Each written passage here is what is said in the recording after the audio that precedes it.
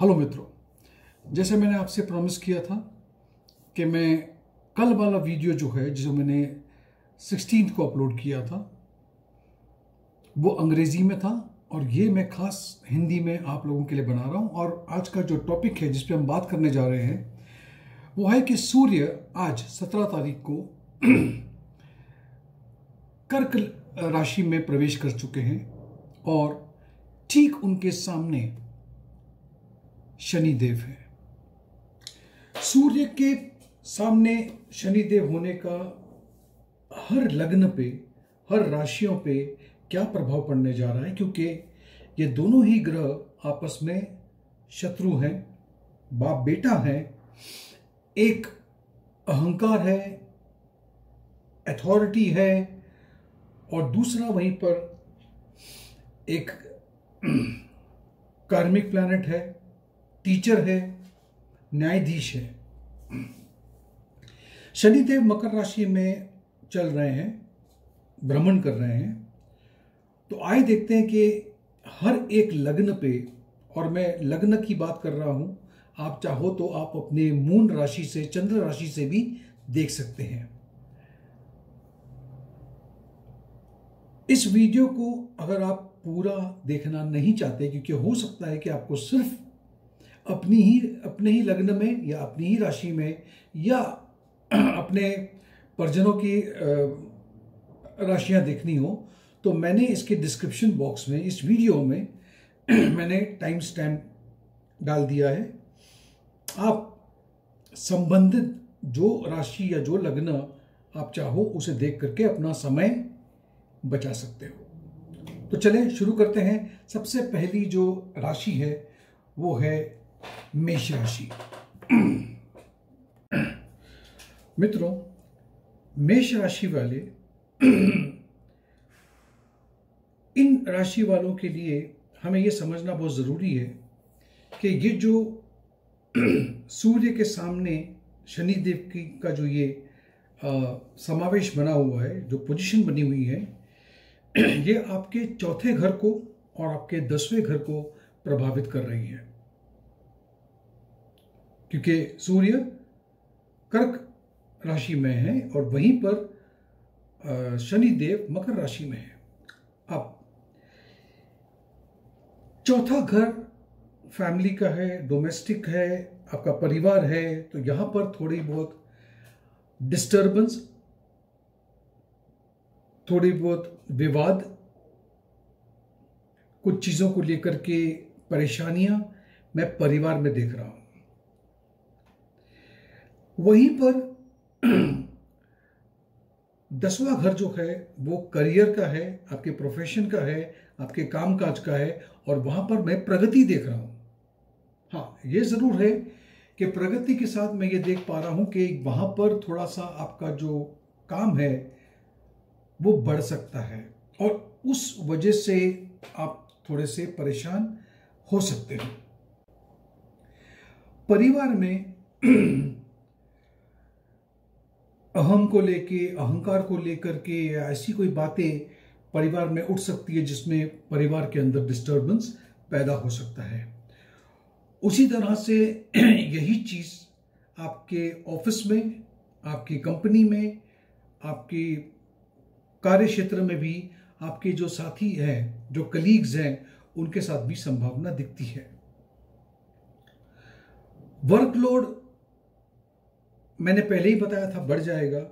और वो वर्कलोड बढ़ने की वजह से जो परेशानियाँ आपको आती दिख रही है, आपको थोड़ा सा धैर्य बना के रखना होगा, क्योंकि आपको पता है कि सूर्य लगभग 15-16 अगस्त के आसपास इस राशि से निकल जाएगा। तो यानी शनि में शनि देव और सूर्य की ये जो ऑपोजिशन है, ये खत्म हो जाएगी। तो उसके बाद आपको रिलीफ मिलने जा रहा है।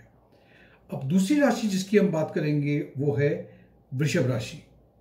वृषभ राशि वालों के लिए ये जो ग्रहों की स्थिति बनी हुई है, ये आपके तीसरे घर को और आपके नौवें घर को प्रभावित कर रही है।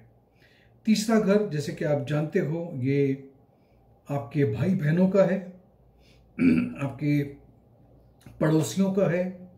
यहाँ से आपका कॉन्फिडेंस देखा जाता है, आपकी हिम्मत देखी जाती है यहाँ से मास मीडिया कम्युनिकेशन देखा जाता है।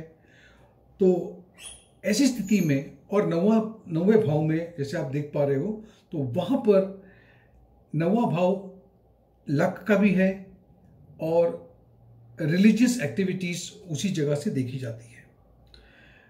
तो वृषभ राशि वालों के लिए हो सकता है कि आपके भाई बहनों के साथ में थोड़ा सा मुठमुठाव हो सकता है। फैमिली में थोड़ा सा डिस्टर्बेंस हो सकता है। और इसके वजह से ही आप काफ़ी परेशान भी रह सकते हो। आपको ऐसा लगेगा कि आप जो भी करना चाहते हो, उसमें और आपको अपना जो कार्य है, वो करने को नहीं मिल रहा, या अपनी कोई भी जो इच्छा है, उसकी पूर्ति नहीं हो पा रही है। घर में जो बड़े बुज़ुर्ग हैं, उनसे आपको काफ़ी इज़्ज़त मिलने, मिलती दिखाई दे रही है।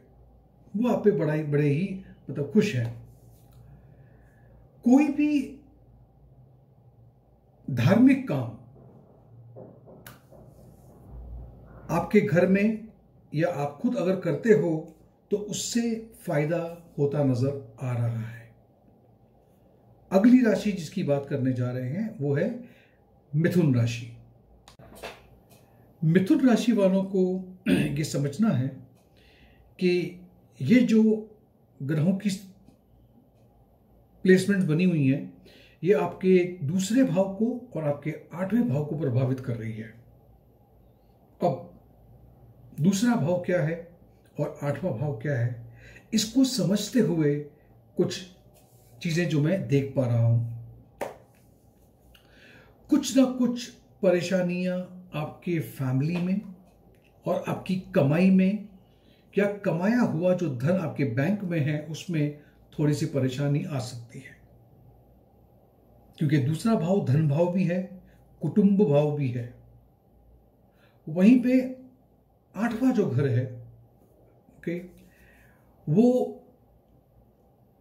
यकायक अचानक कोई चीज़ें करता है। इसीलिए आप कोई भी चीज़ को जहाँ पे आपने उम्मीद नहीं की थी या आप उम्मीद नहीं कर रहे हो, वहीं से आपको कोई ना कोई चीज़ें होती नज़र आएगी। खास करके फैमिली में एक बदलाव बदलाव किसी भी तरह का हो सकता है, लेकिन एक बदलाव नज़र आएगा। अगर आप ऐसा ऐसे कोई भी कार्य क्षेत्र में काम करते हो जिसमें आपको बहुत डीप रिसर्च करना है तो आपके लिए यह समय बहुत ही उपयोग है, क्योंकि आठवां घर रिसर्च का कोई भी चीज़ को गहराई पे, गहराई तक उतर करके देखने का ही भाव माना गया है। यह भी हो सकता है कि आपको जिस चीज़ में इंटरेस्ट है या जिस पे आप रिसर्च करना चाहते हो, वो टॉपिक अगर आपको नहीं समझ में आ रहा था तो आज वो आपको टॉपिक समझ में आएगा। आपको यह भी समझना होगा कि पैसों के मामले में थोड़े बहुत उतार चढ़ाव उतार चढ़ाव देखने को मिल सकते हैं आने वाले तीस दिनों तक। आपको इस बात का ख्याल रखना होगा। पहला तो आपको ज़्यादा खर्च नहीं करना है इस वक्त, और हमेशा अपने बैंक के बैलेंस को चेक करते रहो। क्योंकि अगर आने वाला समय थोड़ा सा आपका हाथ टाइट कर सकता है तो आपके पास एक बैकअप प्लान होना चाहिए। आपके पास कुछ पैसे जमा मतलब जमा राशि हो तो आपके लिए उतनी परेशानी का सबब वो नहीं बनेगा।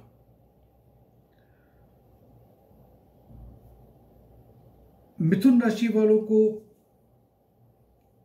यह भी समझना होगा कि शनिदेव अगर आठवें घर में है तो ये आपको स्पिरिचुअल ग्रोथ भी दे रहे हैं।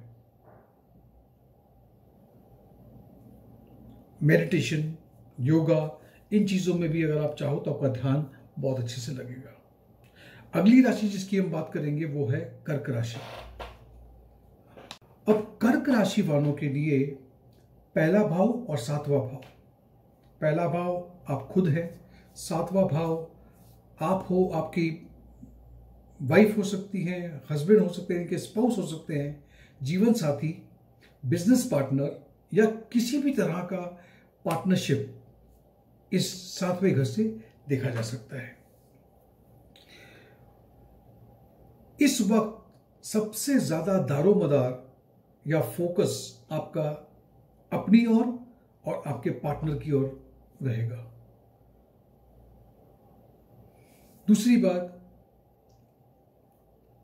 इस वक्त आपको बहुत धैर्य से काम लेना है और ध्यान पूर्वक आपको आगे बढ़ना है कि अगर वैसे ही आपके जीवन में, आपके शादीशुदा जीवन में अगर कुछ परेशानियाँ थी, हैं तो वो आपको बहुत सोच समझ करके उसको हैंडल करना है। अगर ज़रा सी भी चूक यहाँ हो जाती है तो ये चीज़ें आपके हाथ से निकल जाएँगी। इसका विशेष ध्यान रखिएगा। बिज़नेस के लिहाज से भी ये वक्त इतना अच्छा नहीं है।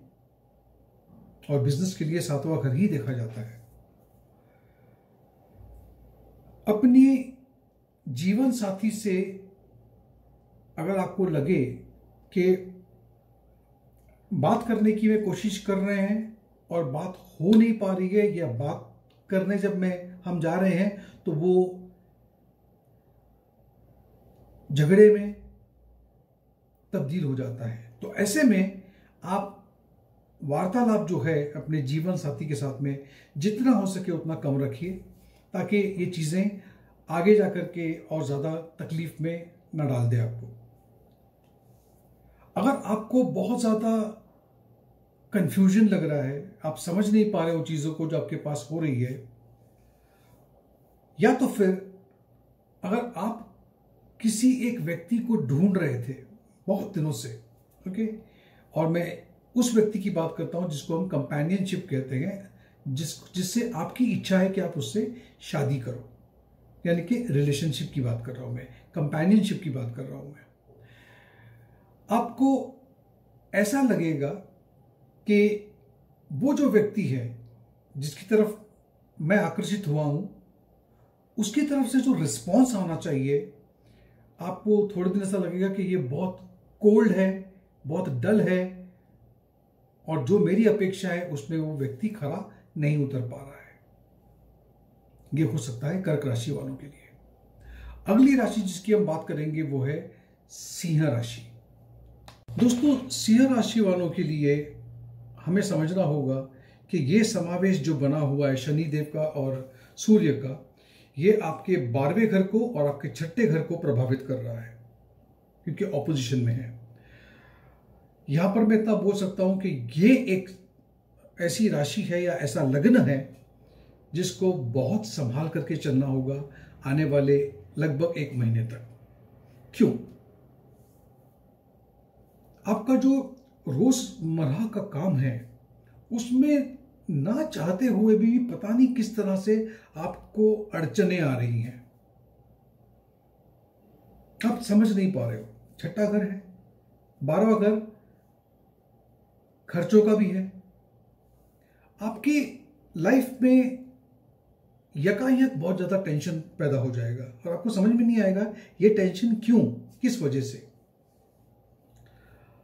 और ज़्यादातर ये आपके जॉब को लेकर के टेंशन होगा, आपके करियर को लेकर के होगा, आप अगर कोई नया बिज़नेस खोल रहे हैं उसको लेके होगा तो थोड़े दिन के लिए इस चीज़ को अगर आप अपने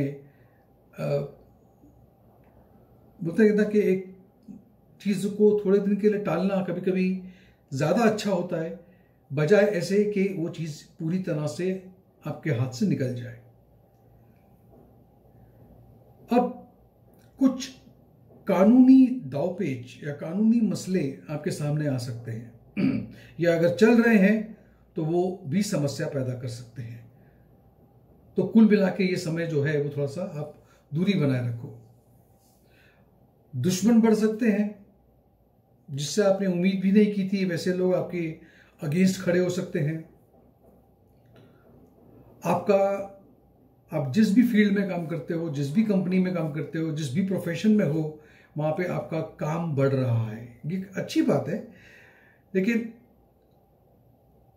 आपको ऐसा लगेगा कि मेरे को काम तो मिल रहा है, लेकिन मैं, मेरे में ताकत नहीं है। मैं फिजिकली इतना स्ट्रांग नहीं हूँ कि मैं इस चीज़ को हैंडल कर पाऊँ।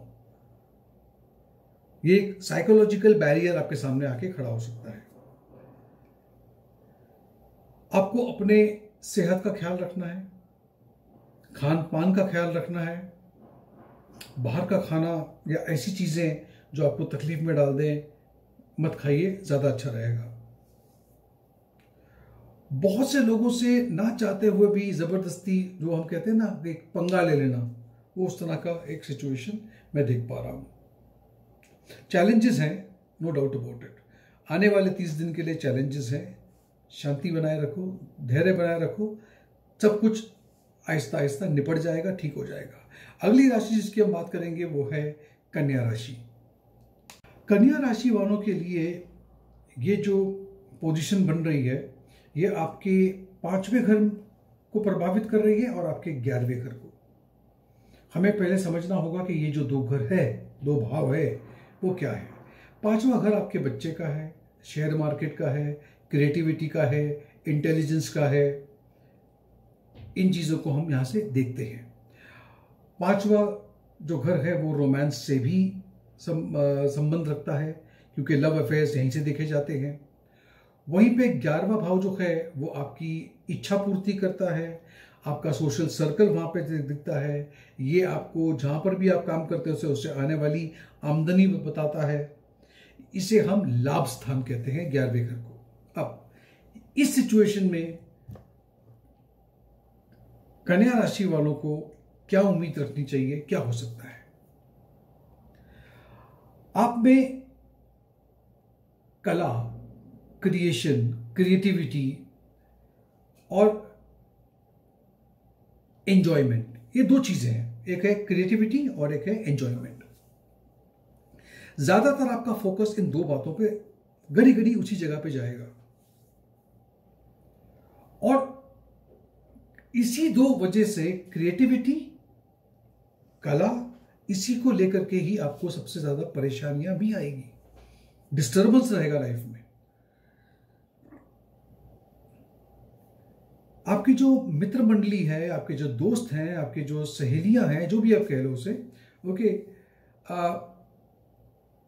आपको ऐसा लगेगा कि वो मुझसे बात नहीं कर रहे हैं मेरे पास नहीं आना चाहते हैं।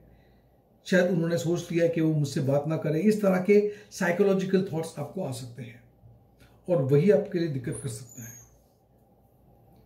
अब सोशल सर्कल में फ्रेंड सर्कल में आपको कुछ बातों का ध्यान रखना होगा। जैसे कि, हो सके तो आर्ग्यूमेंट या किसी को कुछ बोल देना। ऐसा बोल देना कि वो एक मित्र को बहुत ही ज़्यादा दुख पहुँचा सके हर्ट कर सके, ऐसा काम मत करना।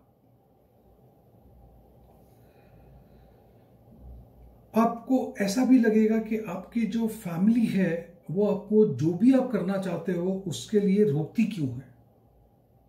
आपको ये चीज़ पसंद नहीं आएगी कि मुझे रोका क्यों जा रहा है? मैं ये करना चाह, चाहता हूँ या चाहती हूँ और मुझे नहीं कर पा रही हूँ। आपके जितने भी प्लान्स हैं और वो जो प्लान जिस जो उसमें आपके दोस्त इन्वॉल्व है जैसे कि आपको कहीं घूमने जाना है किसी पिकनिक पे जाना है किसी हाइकिंग पे जाना है पिक्चर देखने जाना है दो तीन दिन के लिए किसी आ, आ, अपने स्टेट के बाहर अपने सिटी के बाहर रहना है। ये प्लानिंग आपकी काफ़ी दिनों से चल रही थी लेकिन इस प्लानिंग में या इसकी पूर्ति होने में कहीं ना कहीं अड़चने आएँगी और वो अड़चनों की वजह से ही आपको फ्रस्ट्रेशन बहुत ज़्यादा हो जाएगा। इसमें किसी की भी गलती नहीं होगी। लेकिन आपने इतनी उम्मीद बाँध रखी थी उस चीज़ से कि हम ऐसा करेंगे, हम वैसा करेंगे, और वो चीज़ अगर पोस्टपोन हो जाए या पूरी तरह से खारिज हो जाए कैंसिल हो जाए तो स्वाभाविक है आपको इस चीज़ का बुरा लग सकता है। तो ये था कन्या राशि वालों के लिए। अगली जो राशि है वो है तुला राशि। अब देखिए, तुला राशि वाले, इनके लिए ये जो दो पोजीशन बनी है सूर्य की और शनिदेव की, ये जो दो घर को प्रभावित कर रही है, वो है चौथा घर और आपका दसवा घर। ठीक है? ये उसी तरह से, जैसे मैंने मेष राशि के लिए बताया था आपको। यहाँ पर फिर से वही बात हो जाएगी कि आपका जो पूरा जो तवज्जो है, फोकस है, ध्यान है, वो आपके चौथे घर में, यानी कि घर परिवार, दसवें घर में, यानी कि कार्य क्षेत्र में, करियर में इस जगह पे आपका फोकस रहेगा। होना भी चाहिए। लेकिन आपको बहुत संभालना होगा। आपको बहुत धैर्य मतलब बहुत संभाल के ये काम करना होगा, खास करके अपने घर पे। क्योंकि फैमिली मेंबर्स से बात करते वक्त या उनके साथ में कुछ वक्त बिताते वक्त हो सकता है किसी बात बात में ऐसी बात निकल आए जिसकी वजह से वो डोमेस्टिक जो हैप्पीनेस है, उसमें कहीं पे दरार पड़ जाए या कड़वापन निकल के आ जाए, उसका बहुत ध्यान रखना है आपको। कोई बहुत ही सीरियस चीज़ थी जो आज तक जिसकी कोई बात नहीं हुई, लेकिन यकायक वो चीज़ आपके सामने आगे खड़ी हो जाएगी और वो भी आपको काफ़ी प्रभावित कर सकता है। आपको ऐसा लगेगा कि अगर आप की नेचर ऐसी थी कि आप किसी के सामने खड़े होकर के बात नहीं कर पाते थे, हिचकिचाते थे, या अपने आप को थोड़ा सा कॉन्फिडेंस लो था आपका तो ये समय में आपको वो कॉन्फिडेंस मिलने जा रहा है। आप बहुत अथॉरिटी से बात करोगे, आपकी बातों में वज़न होगा, सामने वाला आपकी बात सुनेगा, क्योंकि आपका जो कहने का लहजा होगा, वो इतना अच्छा होगा कि सामने वाला आपकी बात सुनेगा। अब एक बात का और ख्याल रखना है, आपको सामने वाला सुन रहा है, लेकिन फिर भी आपको अपने ऊपर डाउट आ रहा है। आप नर्वस हो रहे हो। आप अपने ही काबिलियत पे शक कर रहे हो इस वक्त। क्यों? ये आपको खुद सोचना होगा। आपको इस तरह का डाउट बिल्कुल अपने दिमाग से निकाल देना चाहिए। आप जो कार, जो कार्य करते हो, सालों से करते हो अच्छा अनुभव है आपका, उसके बाद में अगर इतने सालों के बाद अगर आप बोलो कि भैया मुझे ये काम करने में कॉन्फिडेंस नहीं है तो ये जो, ये बात थोड़ी ध्यान देने वाली बात है। ऐसा नहीं होना चाहिए। आपको थोड़ा सा आप सिक्योर नहीं फील करोगे। एक तरह की इनसिक्योरिटी आप में रहेगी। चीज़ों को खोने का, लोगों को खोने का पोजीशन को खोने का डर सताएगा आपको।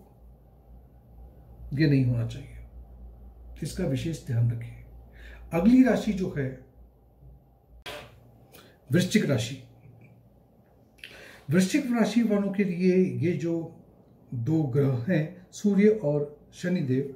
ये जो ऑपोजिशन बना हुआ है, ये आपके तीसरे भाव में और नौवे भाव में बैठा हुआ है। मैंने तीसरे भाव के बारे में पहले भी बता दिया था। तीसरा भाव कम्युनिकेशन का है, आपके भाई बहनों का है, आपके पड़ोसियों का है, आपके धैर्य का है, आपकी हिम्मत का है, आपकी आपकी सोच, आपकी लिखावट, ये सब कुछ तीसरे घर से देखा गया है। छोटी यात्राएँ तीसरे घर से देखी जाती है। वहीं पे जो नवम स्थान है, भाग्य स्थान है, वहाँ से आप अपने इंस्पिरेशन को देखते हैं, गुरुओं को देखते हैं मेंटर को देखते हैं रिलीजियस एक्टिविटी धार्मिक कार्य कार्य आपका जो होते हैं, वो देखते हो आप। लंबी यात्रा, यानी कि फॉरेन का कंट्री अगर आप जा रहे हो तो वो यात्रा देखते हो। तो वृश्चिक राशि वालों के लिए ये बहुत ही अच्छा समय है। क्योंकि एक तो स्पिरिचुअल अच्छी ग्रोथ हो रही है आपकी रिलीजियस एक्टिविटीज़ में आपका ध्यान लग रहा है, वहीं पर थोड़ा सा आपको ध्यान रखना है आपके रिलेशन में। रिलेशन में थोड़ी सी कड़वाट आ सकती है तो उसका आपको ध्यान रखना होगा। और रिलेशन खास करके मैं जो बात कर रहा हूँ, वो आपके पति या पत्नी की बात नहीं कर रहा हूँ, मैं आपके रिश्तेदारों की और खास करके आपके भाई बहनों की बात तो अगर ऐसा लगे भी तो थोड़ी दिन के लिए शांत रहिए, वरना ये चीज़ एक बहुत ही अजीब सा रूप ले लेगी।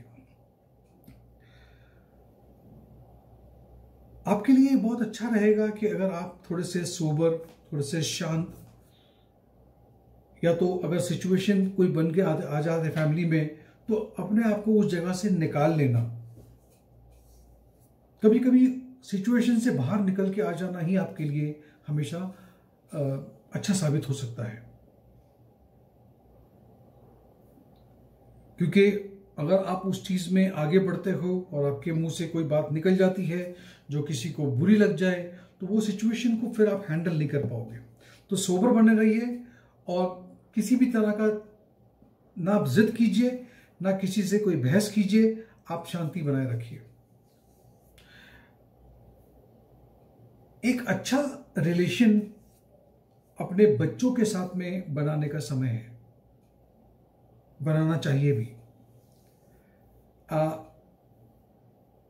और यहाँ पर मैं देख पा रहा हूँ कि आपको उसमें फ़ायदा भी नज़र आ रहा है।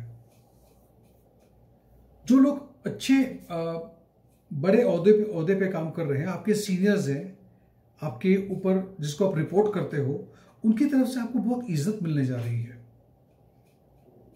आपको एक नाम, एक शहरत मिलने जा रही है। लोग आपकी तारीफ़ करेंगे, आपने जो कुछ भी किया है पिछले कुछ सालों में, कुछ महीनों में। आप इस वक्त अपने अंदर झाँक करके, अपनी खुद की गलतियों को एक क्रिटिक बन करके देखना पसंद करेंगे, और आप करेंगे भी। जिसे हम लोग कहते हैं ना कि कुछ लोग होते हैं जो शॉर्ट एनालिसिस करते हैं कि, चलो मैं देखता हूँ कि मैं ऐसा क्यों हूँ? मेरे में क्या गलतियाँ हैं? हमें हमेशा लगता है कि जो हम बोलते हैं वो बिल्कुल सही है, लेकिन दूसरों के नज़रिए से भी देखना ज़रूरी होता है। तो ये सब कुछ था वृश्चिक राशि वालों के लिए। अगली राशि जो है, वो धनु राशि। उसके बारे में बात की। धनु राशि वाले, आपको ध्यान रखना होगा, क्योंकि ये जो पोजीशन बनी है, ये आपके दूसरे घर में और आठवें घर के में बनी हुई है। और इसके बारे में मैं बता चुका हूँ कि ये सेम पोजीशन मिथुन राशि वालों के लिए भी बनी। लेकिन मिथुन राशि वालों के इसमें दूसरे घर में सूर्य आठवें घर में शनि है यहाँ पर बुरा उल्टा है। यहाँ पे दूसरे घर में आपके शनिदेव है आठवें घर में आपके सूर्य है। तो देखिए इसमें क्या हो सकता है। आपको यक, एक आठवां घर यानी कि अचानक ट्रांसफॉर्मेशन तो लाइफ में चेंजेस आपको दिखाई देंगे। दूसरी बात है ये जो चेंजेस हैं, ये हो सकता है कि आपको आपके परिवार से दूर ले जाए, या आप जहाँ पे रहते हो वहाँ से रीलोकेट कर लें, या आप शहर छोड़ दें, ये भी हो सकता है पॉसिबल है। आपके इस वक्त आपके दिमाग में जो बातें चल रही है, वो सबसे ज़्यादा है पैसों को लेकर के फाइनेंस को लेकर के। ये सबसे ज़्यादा आपको चिंता इस बात की हो रही है। लेकिन आपको इस वक्त शांत रहना है।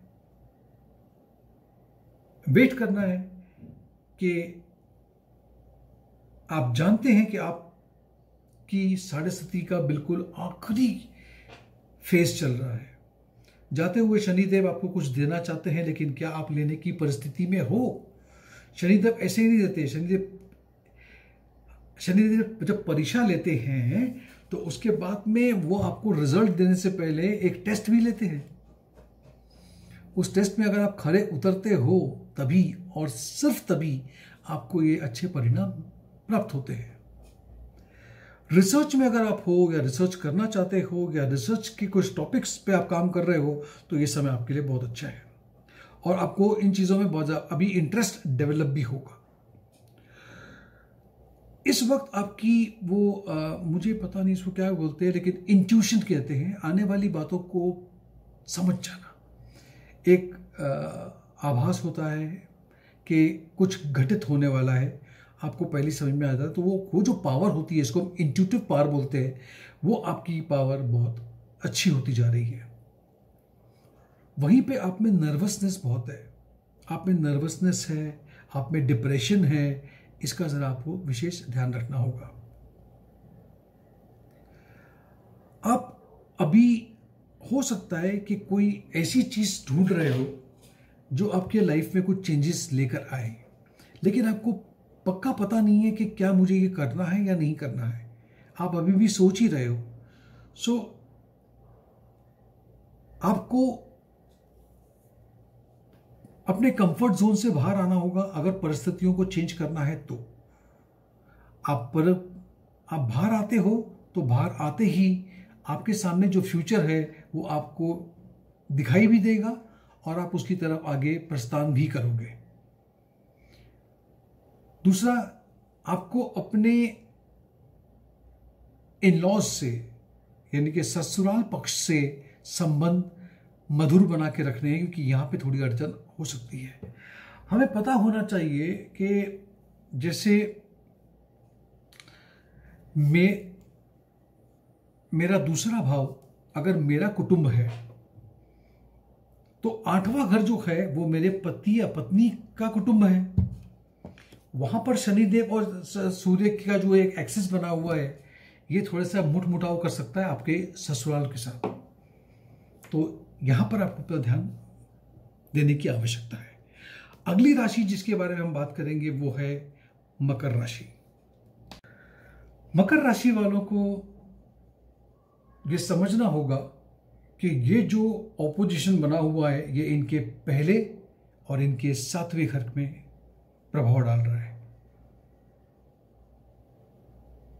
तो क्या करना है? जैसे कि ये सेम चीज़ मैंने बताई थी आपको, कर्क लग्न वालों के लिए। यही होने जा रहा है। अभी यहाँ पर पहले भाव में, पहले घर में आपके शनिदेव है वहीं पे सातवें भाव में आपके सूर्य है। ऐसे में सबसे ज़्यादा जो चीज़ आपको इस वक्त आपका सेंटर होगा मतलब सबसे ज़्यादा आप उस पर तवज्जो देंगे, ध्यान देंगे, वो होगा आपका शादी का घर।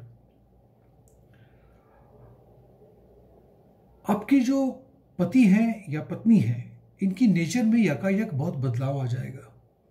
बदलाव अच्छा भी हो सकता है, बदलाव नेगेटिव भी हो सकता है। एंड वो बदलाव अच्छा हो या बुरा हो, उसके, वो तो ठीक है, लेकिन आप उस बदलाव को शायद इतनी जल्दी डाइजेस्ट नहीं कर पाओ, झेल ना पाओ, ये हो सकता है। बट फिर भी आप अपनी शादी को बहुत अच्छी तरह से निभा भी लोगे हैंडल भी कर लोगे। अभी सातवां घर जब आता है तो मैंने आपको हमेशा कहा है, खाली पत्नी को ही वहाँ से देखा नहीं जाता। आपका बिज़नेस आपके बिज़नेस पार्टनर आपके ओपोनेंट्स आपके ऑडियंस ये सब कुछ वहाँ से देखा जाता है। तो यहाँ पर बिज़नेस और बिज़नेस पार्टनरशिप अगर आपके कुछ हैं पार्टनरशिप में आप काम कर रहे हो तो आपको इस टाइम पे एक अच्छा समावेश बनाकर, बना, बनाकर रखना होगा।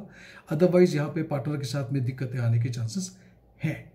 और ये चीज़ आपके रिश्तों को ख़राब कर देंगी उस पार्टनर के साथ।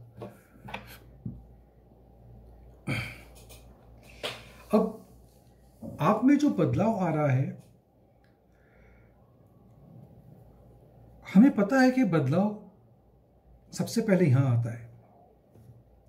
और अगर ये आपका चेंज हो जाए, यानी कि सोचने का तरीका चेंज हो जाए, उसमें कुछ डिफरेंस आ जाए तो ये कभी कभी जो लोग आपको जानते हैं, जिनके साथ में आपका एक तालमेल बैठा हुआ है, उनके लिए थोड़ा सा अजीब सा हो जाता है। वो समझ नहीं पाते कि आपको यकायक हुआ क्या। मुझे पता है कि ये ट्रांसफॉर्मेशन है। लेकिन सामने वाले को ये आप बताना या समझाना, ये थोड़ा बड़ा ट्रिकी मामला है ये। किसी भी तरह का निवेश, किसी भी तरह का इन्वेस्टमेंट इस वक्त प्लीज़ मत कीजिएगा, क्योंकि वो इन्वेस्टमेंट आपको भारी नुकसान में डाल सकता है। हमें यह भी याद रखना है कि ये आपका मिडिल फ़ेज़ है साढ़े सती का। इसे निकल जाने दीजिए। इस टाइम पे इन्वेस्टमेंट बिल्कुल मत कीजिए। रिलैक्स कीजिए आराम से और बाकी सब कुछ ठीक चल रहा है। अगली राशि जो है वो है कुंभ राशि। कुंभ राशि वालों के लिए ये जो एक्सिस है ऑपोजिशन जो बना हुआ है, वो उनके बारहवें घर में और छठे घर में प्रभाव डाल रहा है। बारहवा घर इज़ ऑल अबाउट मतलब बारहवें घर से हम विदेशी यात्रा देखते हैं। बारहवें घर से हम लॉस देखते हैं, लेकिन हमेशा लॉस पैसे का हो ये ज़रूरी नहीं है। बारवा घर आपका प्राइवेट रूम आपका बेडरूम बताता है। बारवा भाव आपको दूसरी दुनिया से मिलाता है। जिसको हम ऑकल्ट कहते हैं पैरानॉर्मल एक्टिविटी कहते हैं वो भी वहाँ से देख सकते हो आप।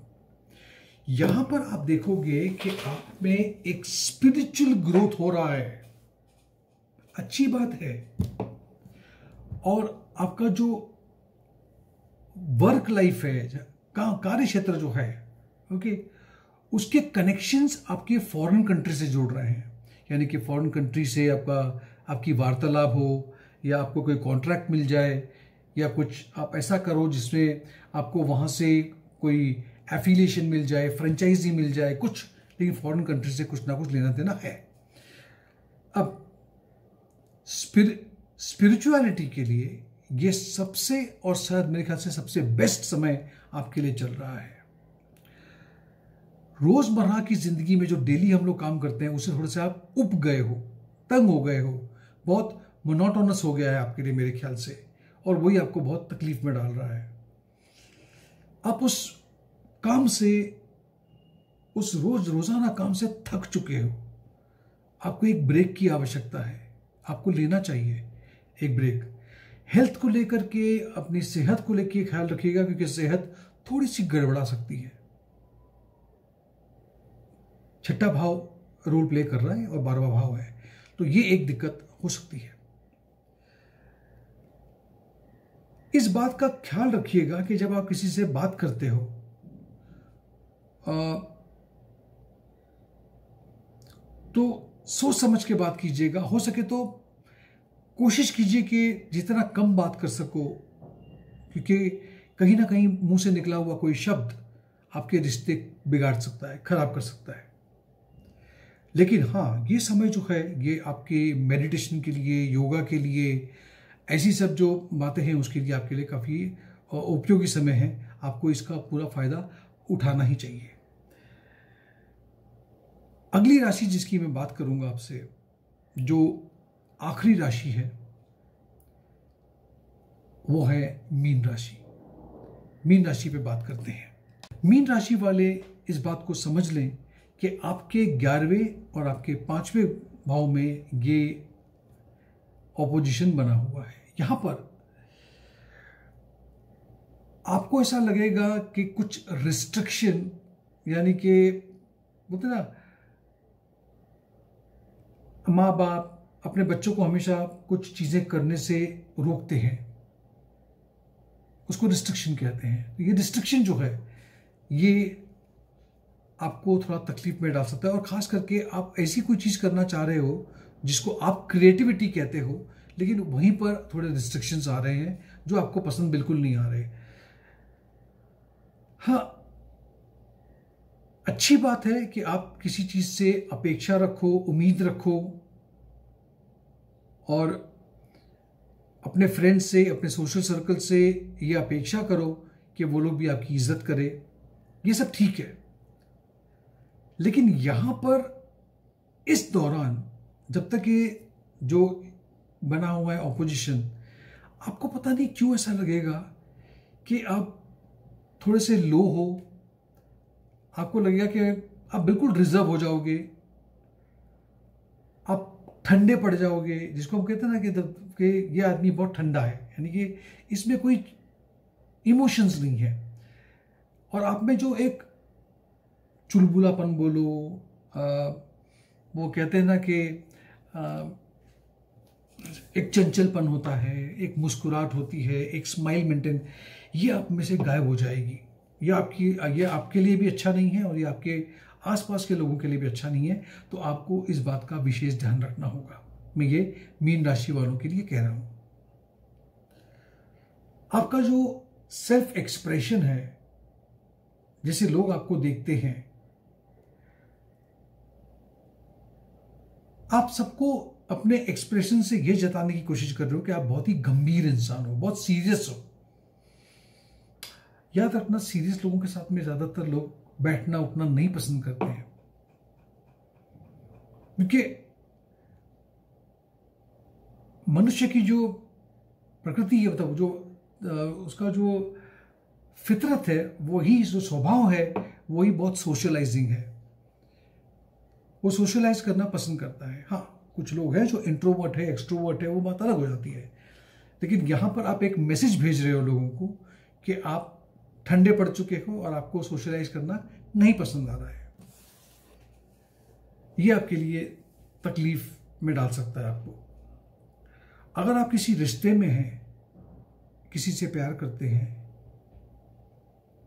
वहाँ पर थोड़ा सा बहुत ख्याल रखिएगा क्योंकि यहाँ पर भी आपकी वजह से, खास करके आपके वजह से ही ये चीज़ जो है, क्योंकि आप शायद मेरे ख्याल से उस रिलेशन को वैल्यू नहीं कर पा रही हो। ये भी हो सकता है कि सामने वाला भी वैल्यू नहीं कर पा रहा, लेकिन यहाँ पर आपकी जो पोजीशन है, वो भी बता रही है कि आप उस चीज़ को समझ नहीं पा रहे हो।